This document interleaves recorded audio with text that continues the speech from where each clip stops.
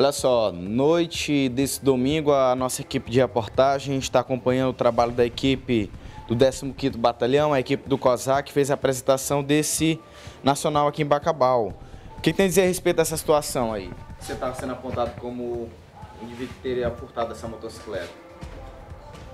O que tem a dizer aí a respeito? Foi você mesmo lá que roubou, levou a motocicleta? Fui. Foi tu? E o outro parceiro lá que tava contigo, quem é? Tem parceiro não. Tem parceiro não, né? Mas as imagens lá mostram que você tava na companhia de outra pessoa. Quem seria a outra pessoa lá? É o Sombra. Hã? É o Sombra. É o Sombra, né? E a motocicleta já tinha escondido aonde lá? Mostrou os policiais, tá bom? Mostrei. O que vocês iam fazer com essa moto? Vender? Vender as peças?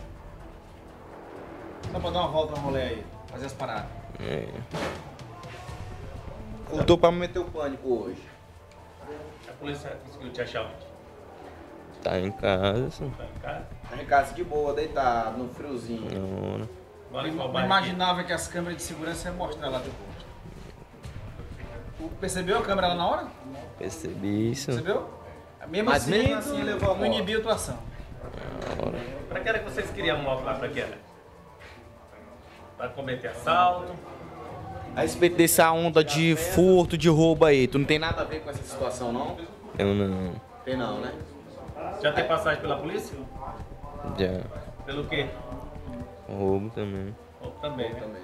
Essa moto que roubaram lá no Parque Santa Clara também, tu não tem nada a ver com essa situação, não? Eu não. Tem não, né? Essa é a primeira moto que tu, tu, tu leva aí? Eu não. Tu vendia pra quem eram essas motos? O Sombra também. Como é teu nome aí? Teu parceiro tu não vai revelar quem é, né? Vai segurar o veneno sozinho. Levaram a moto empurrando lá, foi? Foi. Deu tempo de ligar. Não, não tinha chave não. Não tem a chave não, né? O guidão na trancada da moto? Só quebrou a tranca do guidão. Tava trancado não. Trancada não. Aí a moto tava contigo no momento que a polícia chegou até você ou já tinha escondido ela? Lá no mato lá. Tava no mato, era? A moto? No mato.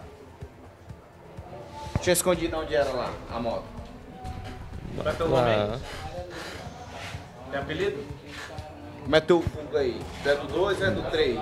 Tem vulgo não. Como Sou é? de facção não. É de facção não, né? Só furtou mesmo pra fazer as paradas. Ia meter o pânico hoje no Bacabal. Não. Tem usuário de drogas? Vou fumar com isso. Uma Não. Só maconha. maconha, né? Mas essa moto aí tu ia vender pra fumar o Brad, como era? Fala isso. Ninguém vai saber. Aí, será apresentado aqui nesse Como é teu momento, nome aí? É, pela uma equipe aqui do, do pessoal do, do COSAR. E agora Tem a dizer a respeito dessa situação aí? Da autoridade policial. Isso não tem nada a ver com o roubo dessa pop, dessa, Já que a dessa fã que aconteceu por esses dias. Eu não, eu né, não. ele não, mais né? seu compassa. Tu sabe quem faz essas paradas aqui já tem pra quem vender. né? A polícia militar caiu em campo, né? Tem que dizer nada aí a respeito dessa situação, quem comprava na tua né, mão. Da motocicleta também para a sociedade. Não? A nossa equipe de reportagem registrando o momento que Tá aqui, rapaz, está sendo apresentado aqui. Até o presente momento ele não falou nada a respeito do nome dele, mas ele aqui nesse momento está sendo apresentado por parte da equipe do COSAR, do 15º Batalhão. Os, os policiais aqui nesse momento estão fazendo já a confecção do boletim de ocorrência. E até o presente momento ele tá duro aqui ainda, rapaz. Não falou nada, não disse quem é o parceiro, não disse para quem que ele ia vender a moto, mas a casa dele acabou caindo, rapaz. E aqui na parede das lamentações, junto com a equipe do COSAR. COSAR acabou fazendo a apresentação dele e ele aqui nesse momento está sendo é, indagado a respeito dessas situações. O boletim de ocorrência já está sendo confeccionado. Ele ainda continua aí, permanece duro, não diz quem é o parceiro, mas as imagens mostram nitidamente ele e outro comparsa fazendo o furto dessa motocicleta. Saíram empurrando, não conseguiram ligar. mas a equipe do COSAR conseguiu localizar a motocicleta e ela vai voltar para o seu verdadeiro dono. Olha só, já que na delegacia a equipe da Polícia Militar, inclusive um outro policial que está dando apoio à equipe do COSAR, conseguiu localizar a camisa do outro parceiro do Lucas, como ele acabou sendo é, reconhecido aqui na delegacia regional. Lucas, essa daí é a, a camisa mesmo do teu parceiro aí? Essa camisa aí? Confirma realmente que é a camisa dele aí? Sei não. Sabe não, né? Lá na imagem lá mostra que ele tava nessa camisa aí e tu em outra camisa preta. Tem a dizer a respeito dessa situação aí? Nada não.